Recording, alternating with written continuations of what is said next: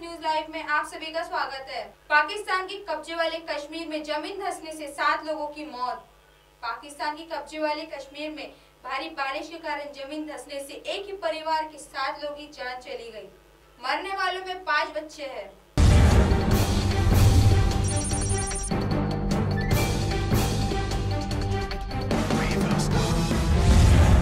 बाबर के वंशज ने कहा, राम मंदिर बनेगा तो नींव रखने के लिए देंगे सोने की ईट।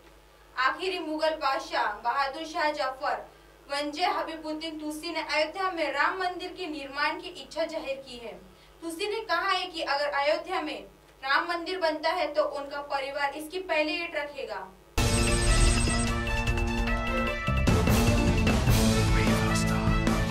लंदन में तिरंगे का अपमान कर रहे थे पाकिस्तानी। इस भारतीय पत्रकार ने दिया मुंहतोड़ जवाब।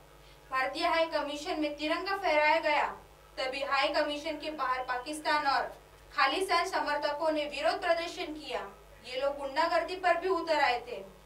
प्रदर्शन कर रहे खालिस्तानी समर्थक तिरंगे का अपमान करने की कोशिश कर रहे थे।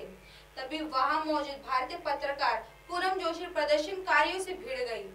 एमएनएस न्यूज़ लाइव की खबरें देखने के लिए आज ही प्ले स्टोर से एमएनएस हिंदी ऐप डाउनलोड कीजिए और इस चैनल को सब्सक्राइब कीजिए। धन्यवाद।